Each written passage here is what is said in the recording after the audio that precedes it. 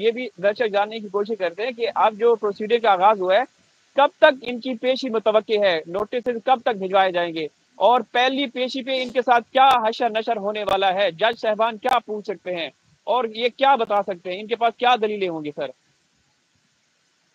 देखिए मैं एक वकील हूँ और मैं एक उस्ताद भी हूँ कानून पढ़ाता हूँ।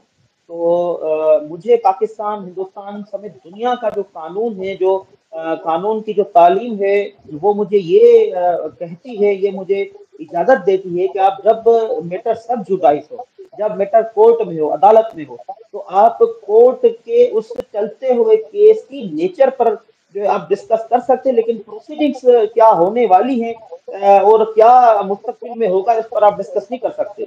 इसलिए मैं इस बात से गुरेज करूँगा, जवाब देना कि आगे कोर्ट क्या फैसला करेगी या कोर्ट में क्या प्रोसीडिंग्स होंगी, इसका तो मैं जवाब नहीं दे सकता क्योंकि कोर्ट में मैटर जा चुका है। लेकिन मैं ये बात ज़रूर करूँगा कि केस जो है, जल्दी, जो एक फ़ाइल हो चुका है हमारी तरफ़ से, एक से ज़्यादा केस फ़ाइल होने वाले हैं।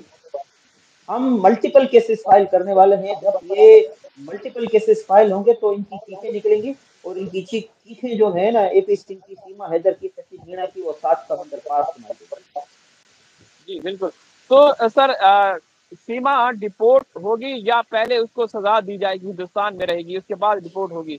इस हवाले से आपकी क्या तो है? क्या आप कहेंगे सर? आपको क्या लगता है? देखिए हिंदुस्तान का जो कानून है जो section fourteen of foreign act है वो ये कहता है कि सीमा को जो है सजा बिल्कुल होगी। क्योंकि सीमा के पास वैलिड जो डॉक्यूमेंट्स इंडिया में एंटर होने के नहीं है। तो जिसके पास किसी मुल्क में, हिंदुस्तान स्पेशली उसके कोई इलीगल इमिग्रेंट जो दाखिल होता है, जिसके पास ना वीज़ा हो, ना ऐसी कोई परमिशन हो तो सेक्शन 14 के तहत तो उसकी सजा यकीनी है। तो कानून के मुताबिक सीमा को सजा ज़रूर होगी और उसके बाद, सजा के बाद जो हिंदुस्तान की जो फॉरेन मिनिस्ट्री है वो मजीद फैसला करेगी कि इसको हिंदुस्तान में जेल में रखा जाए या इसको पाकिस्तान डिपोर्ट किया जाए। लेकिन बच्चों के हवाले से चाहे हिंदुस्तान का कानून हो, चाहे पाकिस्तान का कानून चाहे अकवा मुतहदा का कानून हो, वो ये कहता है कि बच्चे जो है नेचुरल गार्जियन है, वालिद है, उसको मिलने चाहिए। जब माँ और बाप दोनों में से एक क्रिमिनल बन के लिए हार्मफुल हो जाता है तो कानून ये कहता है कि उन दोनों में से जो क्रिमिनल नहीं है तो उसके की रहेगी ताकि बच्चों की परवरिश जो है अच्छी हो सके और बच्चे जो है क्रिमिनल एक्ट से और क्रिमिनल सोसाइटी से दूर रहें। तो कानून ये कहता है, अब इस केस में जो गुलाम हैदर है, वो उसका कोई क्रिमिनल रिकॉर्ड नहीं है, वो मासूम है। दूसरी तरफ़ जो सीमा है, उसने गिनोना जुर्म किया है और उसने सात समंदर पार किए, यानी बॉर्डर क्रॉस किया हिंदुस्तान है एक हीनस किस्म का केस है। अब कानून किसी भी सूरत में इजाज़त नहीं दे सकता है कि सीमा के हवाले बच्चे किए जाएँ, एक क्रिमिनल के पास बच्चे किए जाएँ, और बच्चे वहाँ पर क्रिमिनल के साथ रह के वो क्राइम सीखें, और क्रिमिनल जो है वो एक्टिविटीज़ में मुलविस रहे तो इस वजह से कानून दुनिया का कोई भी इजाज़त नहीं देगा कि एक क्रिमिनल के साथ जो है बच्चे छोड़े जाए। जी बिल्कुल। तो सर अब जैसे कि प्रोसीडिंग का आगाज़ हो चुका है तो बच्चों को कोई खतरा तो नहीं है? क्योंकि ये जो सीमा है इसने कई दफ़ा धमकी दी थी मीडिया पे आके कि अगर कुछ होगा डिपोर्ट करने का कुछ प्लान किया गया या मुझे डिपोर्ट किया गया तो मैं अप, अपने आप को बच्चों से मैं खत्म कर दूँगी। तो अब आपको लगता है कि बच्चे महफूज हैं? मोमिन मलिक साहब के आने के बाद। देखें बच्चे जब तक सीमा के पास मौजूद हैं बच्चे जब तक सचिन मीणा के पास मौजूद हैं बच्चे जब तक नेत्रपाल सिंह मीणा के घर में मौजूद है, तब तक जो है वो महफूज नहीं है। फिर चाहे हिंदुस्तान में रोशन अली अजीम हो, चाहे मोमिन मलिक हो, चाहे तनवीर हो, चाहे गुलाम हिदर खुद हो, बच्चे महफूज बिल्कुल भी नहीं है।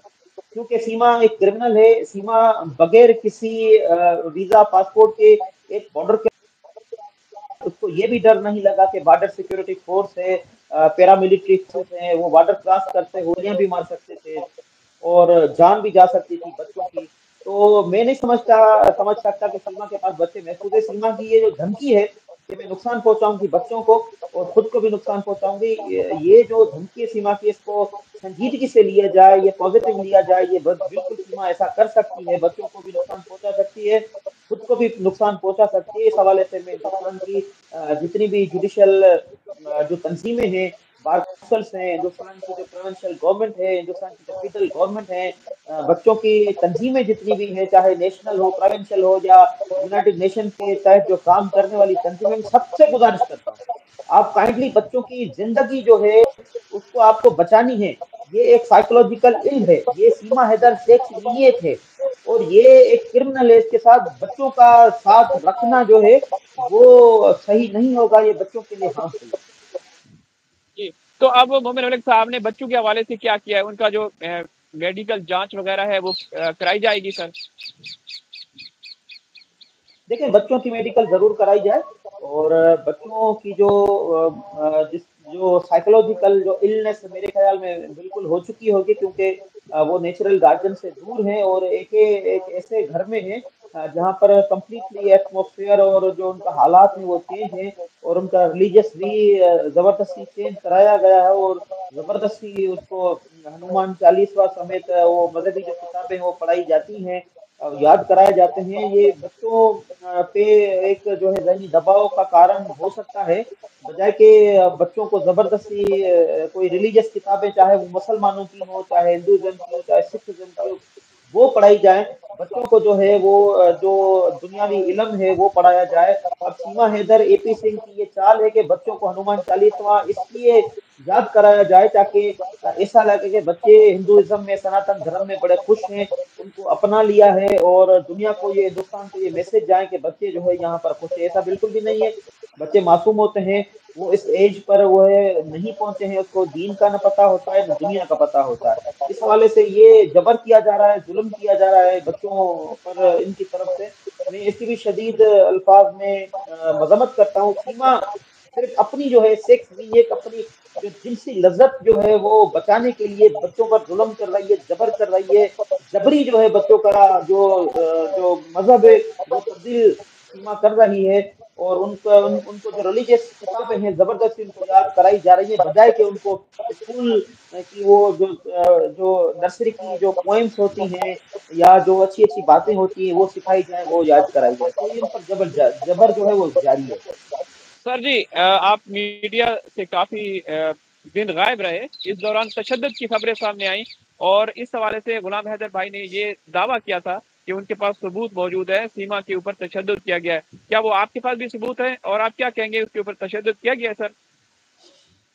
देखिए, मैं मीडिया से बिल्कुल दूर रहा हूँ और इस हवाले से न मेरा इंटरव्यू आया है, न ही मैं मीडिया की वो खबरें जो है, वो सुन सका हूँ। हाँ जो हमारी बातें होती थी, जो हमारी टीम जो सुनती थी, जो हमारी टीम बताती थी वो मुझ तक ज़रूर पहुँचती थी। इस हवाले से मुझ तक ये बात ज़रूर पहुँची थी कि सीमा को फलान डे पर, जो है तशद हुआ है। इस हवाले से मैं ये कहना चाहूँगा कि आज से कोई दो महीना या ढाई महीना आप माजी में जाएँगे तो मैंने दो तीन इंकशाफात किए थे, कोई ब्रेकिंग चलाई थी कि सीमा पर रबूपुरा में तशद हुआ है। सीमा को सचिन मीणा ने बहुत मारा है तशद किया है। तो दूसरे दिन सीमा मीडिया पर आई थी तो तमाम जो यूट्यूबर्स है, उन्होंने बड़ा मज़ाक उड़ाया था कि सीमा तो बड़ी खुश है, सीमा को तशद नहीं किया गया रोशन अली अजीम ने झूठ बोला है। तो देखिए, इस हवाले से जो मेरे जराए हैं, वो रबूपुरा में मौजूद हैं, वो सीमा के घर के आसपास मौजूद हैं, मेरे पास सबूत हैं। मेरे साथ जो है रबते में कुछ ऐसे लोग हैं, वो डायरेक्टली मुझे रिपोर्ट करते मैं उनका नाम नहीं लेना पसंद करूँगा। जब आज से दो महीने पहले सीमा पर जो तशद हुआ था, वो इस तशद से बड़ा संगीन था। सीमा पर ऐसा तशद हुआ था कि मैं मीडिया पर वो बता नहीं सकता हूँ कि संगीन किस्म का इवन के सीमा के जो जिसम है उस पर जो है वो निशानात आ गए थे। सीमा के प्राइवेट पार्ट्स पर निशानात आ गए थे। जो बकोल वहाँ पर जो लोग थे, उसकी कम्युनिटी के, जो उनके घर में वो इसलिए ये दावा सा कह रहे हैं कि जो सीमा पर तशद हुआ था, वो सरे आम घर में घर वालों की मौजूदगी में हुआ था। तो इस हवाले से सीमा के पूरे जिसम पर तशद के निशानात पाए गए थे। वो बड़ा, वो वहाँ पे घर की चार दीवारी से बाहर उन्होंने ये खबर नहीं आने दी थी, लेकिन रोशन अली अजीम तक वो बात पहुँची थी। मैंने मीडिया पर वो हाईलाइट की थी। आप पुराने इंटरव्यू रोशन अली अजीम के या दीगर लोगों के देखेंगे, उसमें मेरे इंटरव्यू मौजूद है सीमा पर। तशद किया गया है। अधिक किस्म का तशद किया गया, लेकिन लोगों ने कहा, ऐसा नहीं है मीडिया पर आइए, बड़ी खुश है और उन्होंने सेलिब्रेशन किया। मेरी बात सही साबित हुई। आज सही साबित हुई। क्योंकि सीमा पर फिर तशद हुआ क्योंकि ये बात इसलिए सही साबित हुई थी कि सीमा के शेष जो है वहाँ पर निशाना थे। सीमा को मारा गया तशद किया गया। इस मरतबा सीमा के जिसम पर चोटें नहीं आई सीमा के फेस पर आई तभी वो बात तय हुई। तो आ, मेरे कहने का मकसद यही है कि सीमा पर तशद तो माजी में भी होता रहा है अब भी होता रहा है। सीमा बड़े जुल्म पर है अताब पर है लेकिन ये इस एक ऐसी बदबूदार किरदार औरत है जिसका जो है वो मुकदर यही तशद है। एक एग्ज़ाम्पल है, हिंदुस्तान समेत पूरी दुनिया के औरतों के लिए कि आप इसे धोखा देंगी अपने फैमिली को, अपने खानदान को, अपने बच्चों को, यार करके आप रंगलिया रंग रलिया मना के आप घर बर्बाद करके निकलेंगी। यार के साथ तो ये तशद जो है वो आपका मुकदर होगा। तो सीमा पर तशद बिल्कुल होता है। सर जी रबुपुरा में जो जो आ, सीमा गैंग है उसका एक अहम व्यक्ति एक अहम क्या कहते हैं मेंबर राजवर्धन साहब वो सीमा से अलग हो गए। आप क्या समझते हैं ये चाल है या एक आ, हकीकत है कि वो वाकयतन सीमा से अलग हो चुके हैं? क्योंकि कुछ उनकी अंदर की कुछ कॉल्स हमारे पास हैं जिसमें वैसे तो वो मीडिया पे आके ये कह रहे हैं कि हैदर भाई के साथ हूँ मेरा पैगाम हैदर भाई तक पहुँचा दीजिए वो मुझे कॉल करें। लेकिन हमारे पास कुछ कॉल्स उनकी है। फंसे पर्दा कि मैं क्या करने जा रहा हूँ क्या कर रहा हूँ? तो आप तक वो कॉल ऑडियो कॉल पहुँची है सर? मेरे पास वो तमाम सबूत हैं तनवीर। मैं बार बार कहता हुआ आ रहा हूँ मेरे पास तमाम सबूत हैं। वो सबूत चाहे सीमा के हों वो सबूत चाहे सचिन मीणा के हों वो सबूत चाहे एपी सिंह के हों या वो नेता जो बीजेपी से जिनका ताल्लुक है जो सीमा हैदर की सपोर्ट करना चाहते हैं, या वो लोग जो नेपाल, यूएई और हिंदुस्तान में सीमा और एपी सिंह का सपोर्टर रहे हैं, उनके तमाम शवाहद, तमाम सबूत मेरे पास मौजूद हैं और मैं बड़ी गहराई से इन सबको जानता हूँ। ये राजवर्धन साहब सिंह जो है ये खुद एक क्वेश्चन मार्क है और इनको, इनके साथ बड़ी एक हिंदुस्तान में गेम हुई है। वो गेम हिंदुस्तान की इंटेलिजेंस एजेंसीज को पता है, हिंदुस्तान की आर्मी को पता है, हिंदुस्तान की रॉ को पता है, और जो बड़े पाए के बीजेपी के नेता हैं, उनको पता है कि ये मामला क्या हुआ है।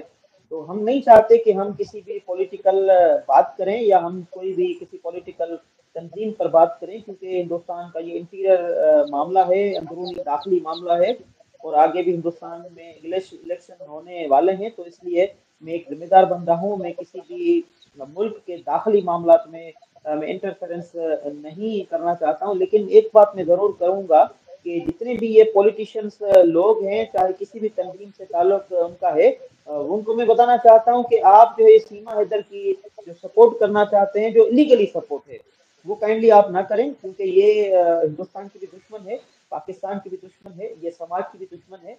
अगर वो लोग जो है डायरेक्टली अगर सीमा हैदर की सपोर्ट करना चाहते तो फिर मेरा भी फ़र्ज़ बनता है कि मैं उनको बेनकाब करूँ और उनकी जो है, जितने भी शवाहद हैं उनके जो सबूत हैं वो हिंदुस्तान के अवाम को जो चीट करना चाह रहे हैं चीट कर रहे हैं तो फिर हम जो है, उनको सामने लाएँगे।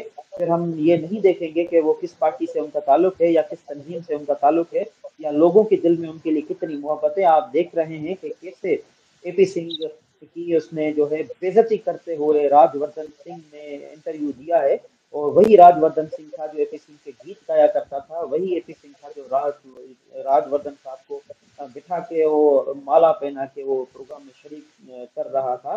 तो ये सारी चीज़ें हैं। तो मैं ये चाहूँगा कि वो तमाम जितने भी लोग हैं वो अपनी लिमिट्स में रहे। ये केस जो है आ, वो जो है आ, ये समाज का केस है। तो उसमें हैदर का सपोर्ट करे तो बेहतर है।